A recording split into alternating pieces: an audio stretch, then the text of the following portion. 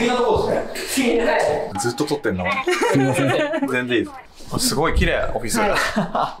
お忙しい中ありがとうございます。あ全然はい。高橋さん、これ、あの、え、ありがとうございます。退職祝いと言いますか。あはい。お気遣いはいい。えいえ。すみません、本当に。はい子供が喜びます。ああ、可愛い、ありがとうございます。はい。前回の動画から2ヶ月ぐらいの間にいろいろ高橋さんのところで、あの、の中でも起きたと思うんですけど、前回いつでしたっけ？12月アップで11月そうだ撮影で、それを出して、ディレクターの高橋さんが夜8時に逃げ出したやつでしょ？は いディレクターの話が足りないよな。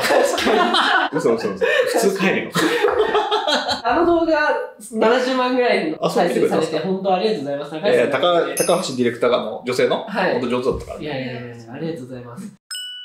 今回、取材させていただくにあたって、僕らのダイアリーの会社に入社してほしいっていうところをはい話そうと思ったんですけど、サイバーエージェントに行かれるんですね。そう、あ、そうなんですよ。ヘッドハンティングしてくれようとしたんですか？あ、もちろんです。ぶっちゃけた話、年収いくらでしてくれようとしたんですかぶっちゃけこれ、本当今の嘘つかないよ。はい。本当、本当いくらでしようとしてくれたんですか？値段次第では考えます、今から。えっ、と、1600万。マジで？はい。2日ぐらい早く言ってくれよ。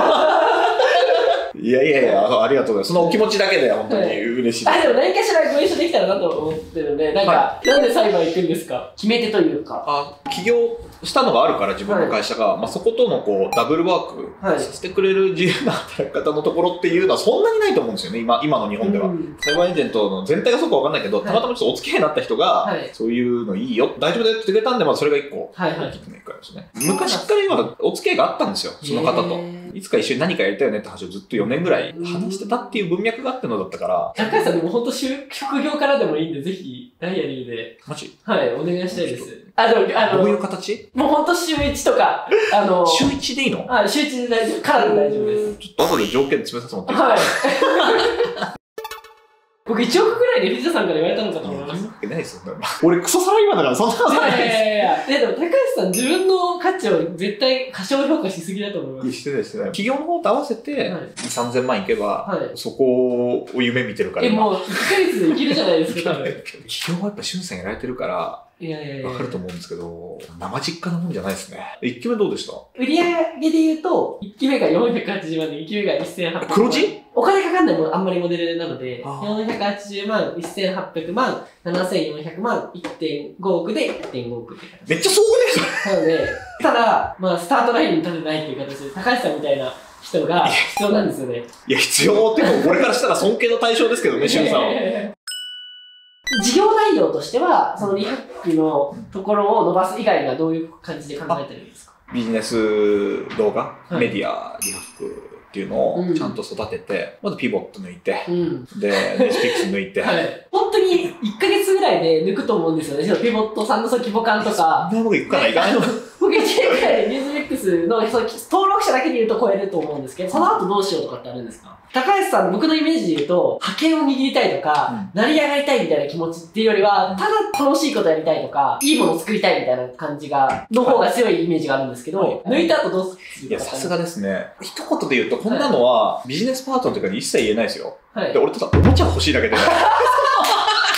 やったコンテンツ喜んでほしいのはすごいベースにあって、はいで、ビジネスメディアは本当に楽しいやってて、はいあの、なんていうの、人生の大事な選択の時に隣に入れるから。はい。旅行とか好きだから、うん次旅行のチャンネルとか、はいすげえ不動産マニアなんですよ。はい。だからその不動産のチャンネルやったりとか、はいはい。一個ずつそういうチャンネルを増やしていきたいなと。じゃあ本当、ピボット抜くとかニュースミックス抜くとかは、あんま関係ないってことですよね。まあちょっと、経済だけって言ってる時点で、俺からしたらちょっと視野が狭いかな。いや、そうですよね。そうそうではない、資本主義の狭いよね確かに。資本主義経済って一つの尺度ですもんね。だから一つのことを一生懸命やんないとできないから、はい俺はそう夢を言ったけど、はい。やっぱ今いるのは200、はい。ちゃんと注力しなきゃいけないし、うん。それは正しいんじゃないかな。体しんどくなったりしないんですか？41になりますと、まあ本当に疲れるんですよ。多分25の時に熱が38度ぐらいの時が今の絶好調。38度を今想像してくださいよ。はいめっちゃ体調でしょ、はいそれが絶好調の日。関節とかも曲がんなくなってくるんですけど。本当本当本当に本当に。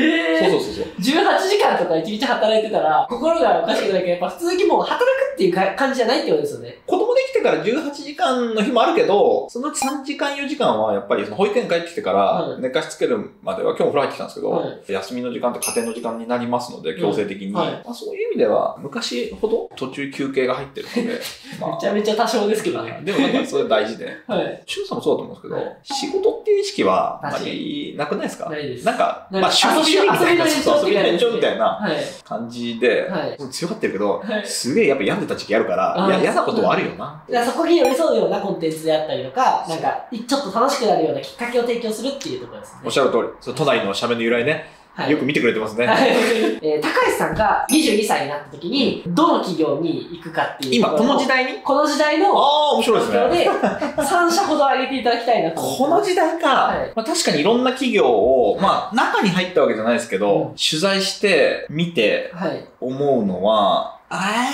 ー、面白いこと聞くけどな ちょっと真剣に考えていいですか？あ、もちろんです。じゃあ3位から言ってくか。はい、お願いします。はい。3位は、まあ、おー。今のところね、ただ、一個やっぱ陽キャが多いからな。起業家みたいな働き方を、コンテンツ周りでできる会社って意味で言うと、強いかもしれない。あうん。ちょっと待って知ってる？ダイアリーのサイトではその企業から内定をもらった先輩のリアルな面接動画が見放題。志望動機とか参考にできるじゃん。絶対にここでしか見られない。無料登録で今すぐ見てね。概要欄からチェック